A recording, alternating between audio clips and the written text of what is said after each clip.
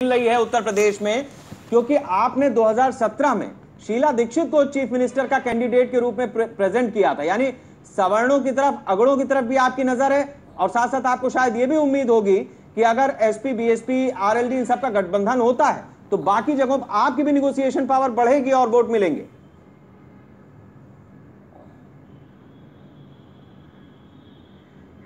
शेखर भाई बहुत ही महत्वपूर्ण विषय है। थोड़ा सा समय देंगे हमें तो हम समझते हैं, समझने में ज़्यादा बेहतर होगा।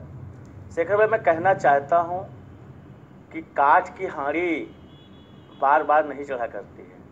झूठ, फरेब, चाल, चालसाजी, जुमलेबाजी वादा खिलाफी धुरतई चोरी और चकारी, ये बहुत दिनों तक नहीं रहता है।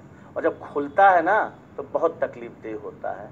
निश्चित तौर पर भारतीय जनता पार्टी ने 2014 में देश की जनता को अपने स्वप्न बाग में अपने झूठे वादे में अपने जो है चार सौ में देश की जनता को भरमा दिया और वो मदारी का खेल करके अच्छा ये बताइए देवेंद्र जी क्या 2007 से लेकर के 12 तक आपने बीएसपी की यूपी की सड़कों पर मुखालफत नहीं की? क्या कांग्रेस 12 से लेकर के 17 तक आपने समाजवादी पार्टी की मुखालफत नहीं की?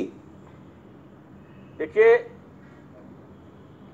शेखर देखिए शेखर भाई राजनीति होती रहती है। मैं पहले ही मैं आपके जो है प्रस्तावना में ये बात को कह दिया था। हाँ। आज देश के लोकतंत्र को बचाने की समस्या आ गई है। भारतीय जनता पार्टी जो कभी भी इस हिंदुस्तान के लोकतंत्र बाबा साहब भीमराव अंबेडकर के संविधान की हिमायती नहीं रही इस देश के जंगे आज़ादी में भारतीय जनता पार्टी के नेताओं का उनके कहीं कोई कंट्रीब्यूशन नहीं रहा हाँ। ये भारतीय जनता पार्टी अंग्रेज़ों के एक सीक्रेट एजेंसी के रूप में काम किया तो आज।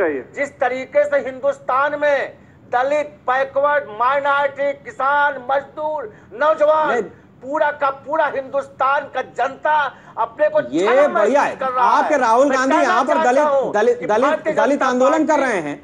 और आ, नहीं नहीं वो अगर यही स्थिति थी ठीक है मैं आता हूँ। शुक्ला जी एक सेकंड एक सेकंड शुक्ला जी चौधरी चरण सिंह का बार बार ज़िक्र आप लेकर के आ रहे हैं। उसको खरीद करके एक सेकंड। लोकतंत्र को हाईजेक करके ठीक है शुक्ला जी चौधरी चरण सिंह जिस तरीके तौर चौधरी चरण सिंह और बाकी दल एक समय तक कांग्रेस के खिलाफ ही अपनी पूरी लड़ाई लड़ते रहे। संपूर्ण विपक्ष को मुकाबला करेगी आज आप उन्हीं लोगों से गठबंधन कर रहे हैं। करेगी। इनको बेनकाब किया जाएगा 2019 में। नहीं हम कहा कह रहे हैं कि हम गठबंधन कर रहे हैं? हम तो अपनी लड़ाई लड़ रहे हैं।